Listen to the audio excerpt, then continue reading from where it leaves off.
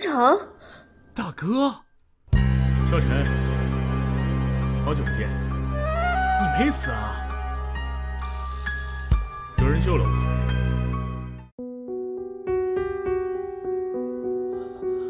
若曦，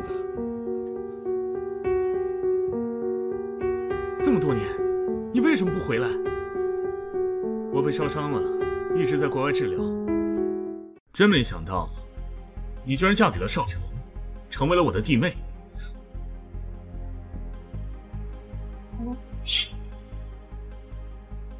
你们认识啊？若曦是我大学的校友，比我低一级。哥，你跟我回家吗？我怕吓到奶奶，还是不过去了。好，今天还多谢蒋少愿意出借酒店，帮我举办这个晚宴。顾总客气了。哥，你就是 D W 总裁啊？和几个朋友在国外开的小公司，跟顾氏比不了。哥，我有点不舒服，你送我回家吧。我送你吧。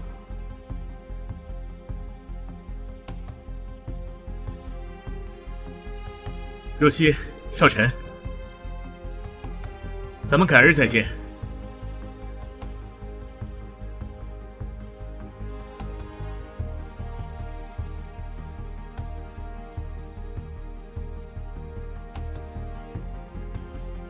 你的初恋是我大哥，你说什么？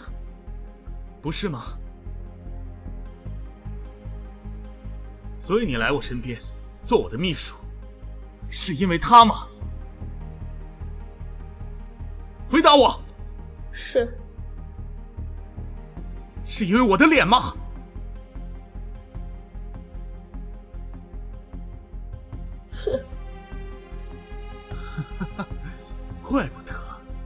你那么轻易的就想离婚，从始至终我都是他的替身是吧？不是。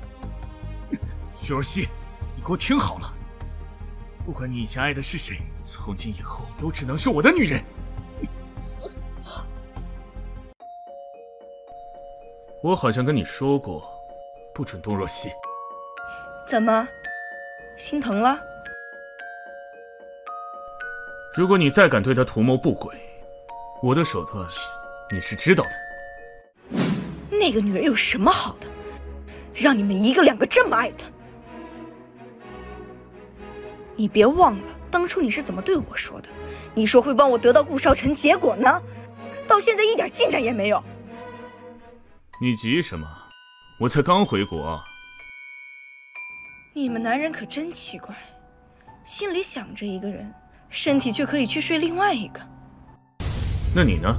心里想着顾少辰，还不是跟我上床？你和顾少辰长得那么像，我得不到他，找个替身解解馋还不行吗？或者你愿意娶我的话，我嫁给你也不是不行啊。非常讨厌“替身”这两个字，以后不要让我听到。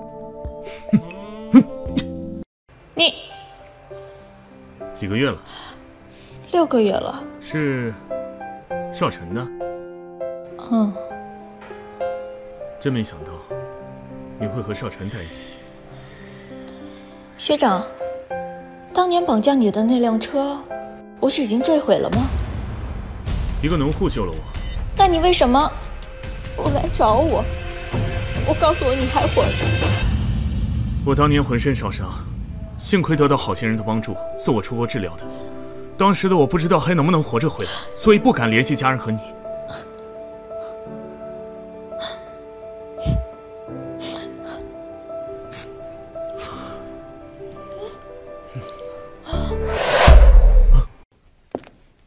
大哥，你怎么也在？我来找若曦叙叙旧，你应该不会介意吧？怎么会？毕竟你们是老同学。你怎么来了？我跟奶奶说了你怀孕的事情，她让我带你回家吃饭。你你怎么就说了呢？再不说啊，宝宝都要出来了。好吧。哎，大哥，你要不要跟我们一起回顾家去呢？奶奶还不知道你回来的事。好啊，我也想见到奶奶，只是不知道奶奶高不高兴见到我？奶奶怎么会不高兴啊？奶奶从小最疼你了。是啊，最疼我。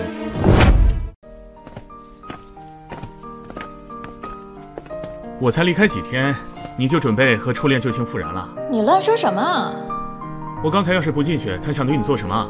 你的思想真龌龊。是我思想龌龊，还是你心里有鬼？你再这么阴阳怪气，我现在就走。哼，徐儿心，你是我的，我不会把你让给任何人。